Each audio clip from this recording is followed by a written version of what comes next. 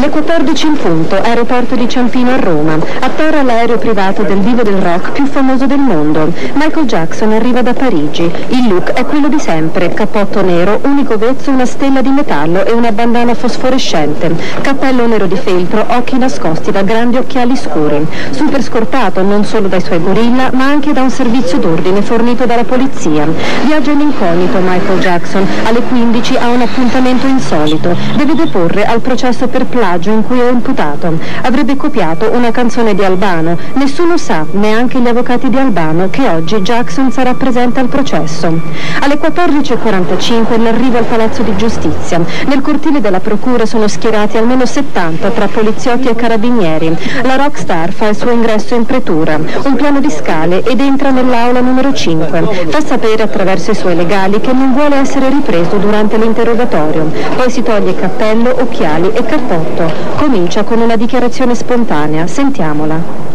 First, I would like to um, apologize for not coming to court earlier. And um, secondly, I would like to apologize. In primo luogo mi scuso per non essere venuto prima e poi per qualunque disturbo che posso aver arrecato. I'm an entertainer, Sono un cantante e un ballerino e faccio il mestiere dell'intrattenitore e del cantautore. In tutta la mia vita non ho mai copiato nulla. Le accuse di Albano sono false. Um, Maestro Albano, these accusations against me are completely false. Poi comincia l'interrogatorio. Michael Jackson ascolta serio le domande del pubblico ministero, risponde secco e calmo, a tratti sorride, ride addirittura quando il PM gli si rivolge in inglese. Racconta com'è nata la sua canzone Will You Be There, dice di non aver mai sentito parlare di Albano e dei suoi cigni di Balacà finché non ha ricevuto notizia della denuncia. Quando parla di Albano lo definisce maestro.